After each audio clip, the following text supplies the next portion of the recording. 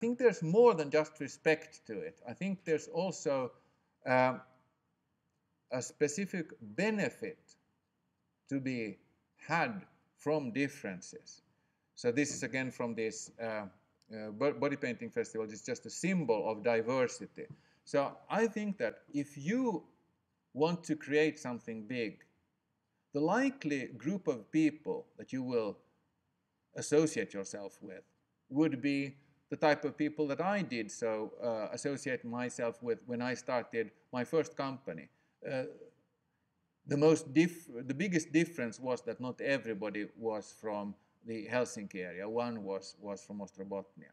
Ha ha. Other than that, everybody had the same interest, uh, technically proficient, uh, mathematics, physics, uh, hard science is good. Well, what about sales experience? What about experience of, of how the customer thinks? Not so much.